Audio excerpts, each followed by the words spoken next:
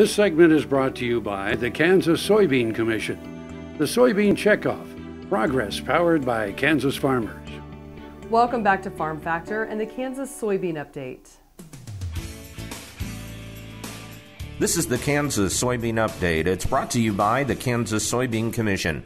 The Soybean Checkoff, progress powered by Kansas farmers. Teresa Brandenburg is joining us. She serves as the chair of the Kansas Soybean Expo Committee. And coming up on Wednesday, January the 11th, will be the 2017 Kansas Soybean Expo. Yeah, it doesn't seem like it should be time again, but we are geared up for a great day for our soybean growers. That will be at 9 o'clock at Heritage Hall and the Manor Conference Center at the Kansas Expocentre. And you've got a great lineup for the Kansas Soybean Expo. We're going to start at 8.30 with registration, and at 9 o'clock we're going to have some welcomes from both the KSA president and the KSC chairman. And right after that, we're going to jump into some partner updates from some of those folks that really assist the soybean industry. And then we're doing things a little different this year. Instead of a morning keynote, we've actually decided to give some of our hometown guys, these K State research and extension guys, some more time in the morning. So we've actually extended out those sessions. Instead of doing the round tables like we did last year where we changed rooms, we just extended out those times to give these guys more time to share their research. And so we're pretty excited about that.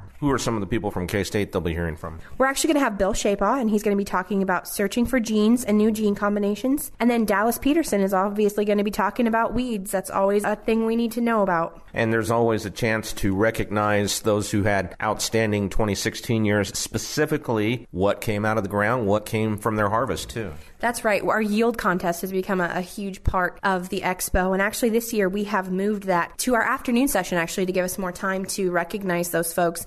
Kansas soybeans is a growing industry. We're so proud of what our farmers are doing. And so we wanted to make sure we had adequate time to recognize those outstanding yields. So we're actually going to be doing the luncheon like we have in years past. We're going to have uh, Tracy Streeter from the Kansas Water Office joining us, as well as our Kansas Soybean Association annual meeting. And then after the luncheon, in our afternoon session, we'll have awards and recognition.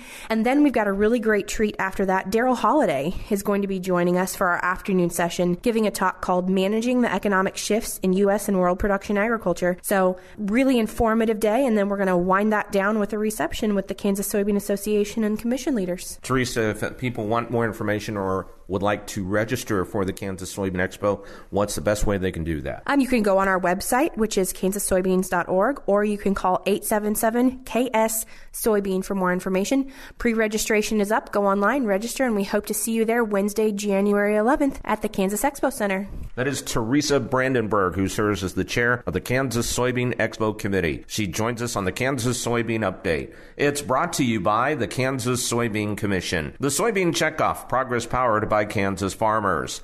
Learn more at kansassoybeans.org. For Kansas Soybeans, I'm Greg Akagi. Hope you enjoyed this week's Kansas Soybean Update. Stay with us after the break for more Farm Factor as Dwayne visits with Tracy Bruner.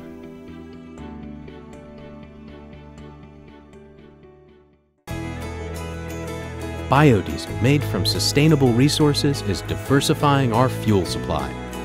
This year, biodiesel will displace over a billion gallons of fossil fuel nationwide. It's making our economy stronger and our communities healthier. It's working here and across America. Get biodiesel going in your community. Visit americasadvancedbiofuel.com.